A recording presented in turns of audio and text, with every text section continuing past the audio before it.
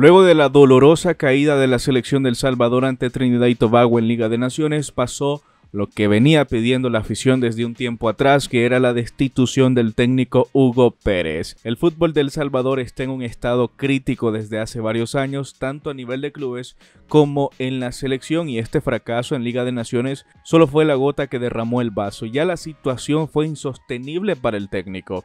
A falta de disputar otros dos partidos frente a Martinica, peligra la clasificación del cuadro centroamericano hacia la siguiente fase, panorama que pone en el ojo de la tormenta al técnico y su equipo de trabajo, de los cuales ya la Federación del Fútbol ha emitido un comunicado. La Fast Food ha dado a conocer que Hugo Pérez no va a seguir siendo el técnico de la selección del Salvador, por lo que en estos momentos ya están buscando un nuevo timonel de cara a los próximos retos. Cabe destacar que la selección del Salvador ya sumó 13 partidos consecutivos sin conocer la victoria. Su último triunfo se dio el pasado 4 de junio del 2022, cuando vencieron 3 a 1 a Granada, en la anterior edición de la Liga de Naciones. Posterior a ello igualaron 5 encuentros y perdieron 8.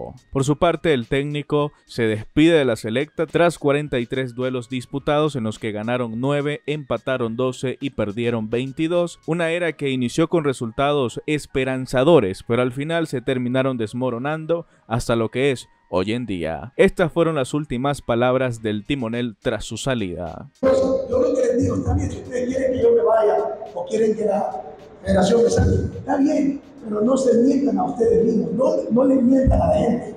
Nosotros no tenemos en este momento, fíjense bien, la capacidad de nuestro entorno futbolístico. Tenemos que empezar a edificar. Y el que no entienda eso, ustedes me están vendiendo basura. Tenemos que ser honestos. La honestidad es lo mejor para comenzar a ir. Si yo viniera aquí y dijera, bueno, El Salvador fue al Mundial cuatro años, ocho años, doce años.